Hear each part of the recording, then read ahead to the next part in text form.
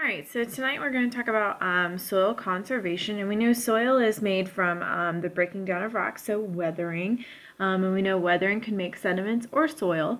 Um, so we're going to talk about soil because it's very um, nutritious for our plants, and we need it for things to grow. So it is um, very important for us to save uh, what we have. So it says over to the side, mature soil takes thousands of years to form, so it needs to be protected. So even though weathering happens every day all the time, um, it takes a long time for soil to um, be made. Um, human activity that can um, increase erosion, um, which would cause us to not have um, as much soil as we need, would be logging, mining, construction, and farming. So all four of those things. the first one is logging. Uh, trees are cut down to build homes, furniture, and to make paper. Um, so this would cause us to not have that soil anymore because it would erode and uh, break down and move other places so it's not in a concentrated area for us to use. Also clear cutting, all the trees cut down in a large area, um, roots decay and there's nothing to hold the soil so it washes away. Um, number two is mining uh, to get natural resources like minerals, which um, we do try and do, but of course it's um, cut back a lot um, from when we first started to get minerals and things like that a long time ago. Um, but we still do it, um, even though we have those acts to kind of reform the land. it still happens. erosion of soil actually speeds up because of this mining. Um, and mining companies, um, of course, must reclaim the area when they're done. We learned about that um, a couple units back. But um, of course, it still causes soil, especially when they're in the middle of mining um, and they haven't reclaimed that land yet. Uh, the third one is construction. So, building roads, buildings, and communities will um, cause the soil to erode away. if plants are removed, uh, erosion speeds up. So, um, building uh, plants and, and planting plants and things like that will, of course, uh, help this to not speed up and it'll slow it down. But, um, you know, we are a growing population, so construction is inevitable and it'll happen. Um, but it causes our soil to, you know, wash away, which is not a good thing. Um, number four is over farming. So a lot of people um, are using more land than they really need to, um, or other land is you know, kind of bad already or it doesn't have the soil that it needs, so they go somewhere else um, and then don't don't take care of the new land. So um, over farming definitely um, creates a problem for soil conservation.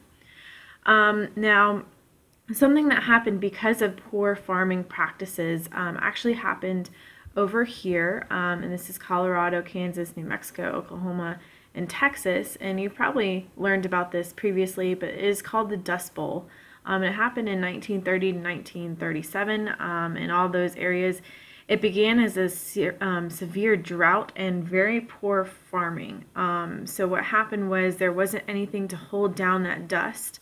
Um, there was no soil, there was no plants, no nothing. So um, this huge windstorm came and it caused all that dust to kind of kick up and um, it created a lot of problems for that area, and um, they didn't have very good farming for a long time. I don't think they actually have really recovered from it. Um, so that land is really not uh, useful to them anymore because of what they did and not reclaiming the land and um, not preventing erosion. So that was not good. Um, a couple of review things. Uh, weathering, we know, is the breaking down of rocks into smaller pieces. Erosion moves that sediment or soil. Um, and we don't want the soil to move, so what do we do? Um, we could reduce this soil erosion by um, planting more plants, um, which we would call windbreakers. It slows down the wind water erosion um, and to hold the soil in. Contour plowing, terracing, no-till farming, um, and cover crops. So we'll learn about this in detail in a little bit um, and crop rotation. So not planting the same thing over and over again because um, it's going to create holes and things like that in the same places. We always want to, you know, rotate it. So sometimes you'll see um, some corn being planted and then some cotton being planted and they'll um, do it in rows and then they'll do it in a different row. So vertical then horizontal and things like that to make sure that that soil is staying in place and it's not um, susceptible to oil or, or I'm sorry, soil erosion.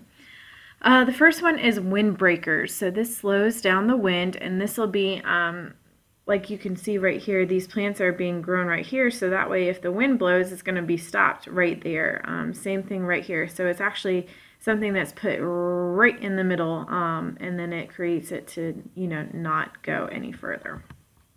Contour plowing slows down water erosion for gentle hills.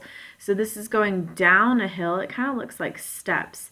Um, so it'll kind of come down and then down and then down. And of course, um, the same amount of water is not going to come down. It's going to decrease less and less because it's going to get stopped by that um, those plants that are being right there. Um, terracing um, is actually a step. So this contour plowing comes up like this, and this one comes down like this. So it'll create a um, step like that. Um, these are for steep hills, by the way, and then contour plowing is for gentle hills. So if you have a steep slope in your backyard, um, sometimes you'll see some of this, so that way you won't get that um, huge puddle at the front of your door um, because it, uh, you know, rained really hard last night or something like that.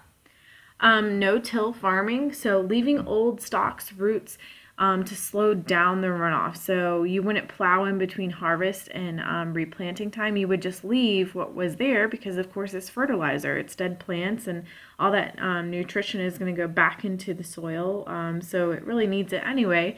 But because there's things in the way, um, you know, if it rains or wind comes or things like that, it's not going to blow everything away because all of that is kind of patting all of that nutrition down. So um, it's important for farmers to just kind of leave it, which is, you know, easier for them in the long run.